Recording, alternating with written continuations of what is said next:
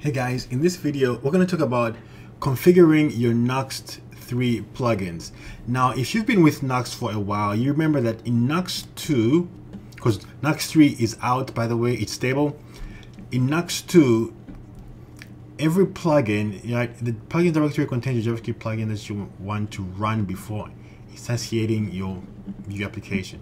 So in Nuxt 2, you had to add your plugin information to your Nuxt config.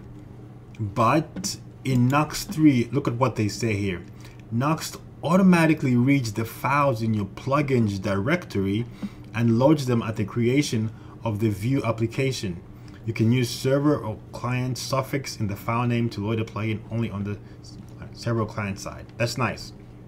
Now, look at this. All plugins in your plugins directory are auto-registered, so you should not add them to your Nuxt config separately. You don't have to add your Nuxt plugins to your config. That's beautiful. That's nice. They're auto-registered. So, for example, this is a Nuxt 3 Tailwind starter kit that you can get absolutely free. Click the link below and you can download it. It's absolutely free. It contains one plugin and it can help you learn how to use Nuxt 3 plugins. It contains all these other things too.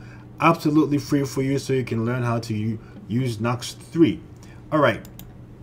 So a plugin, all you need is, uh, boom, let's do that. All you need is your plugins directory and you register your plugins and I have a few plugin examples here. You look at that. Um, this is uh, a simple plugin that just tells you what today is really. And when you write like this you have this provide example. You can go to uh, where I think I have that in the about com yeah about. And all you need to do right is just right? Today like that.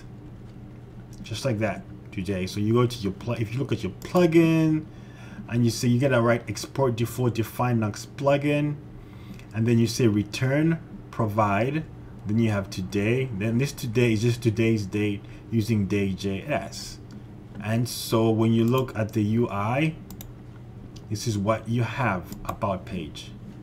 There it is. Also using it on the contact page, the same thing when you look at the contact content right there. This is one way of writing your Nuxt plugin. There's another way, and it's like this.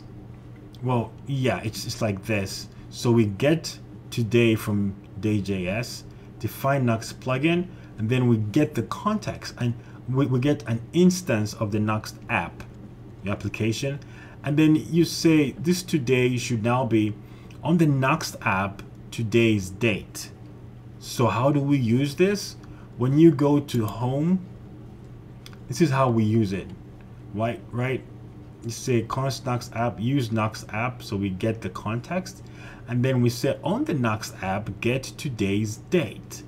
Assign that to this variable, this constant today. And then when you go uh, to the index page. Actually, no, we'll just look at it to the UI.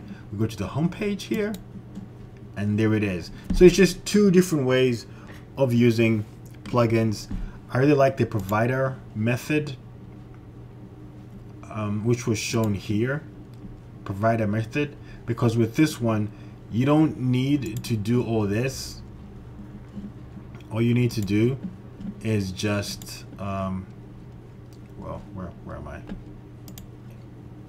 All you need to do is just, wrong place, is just this.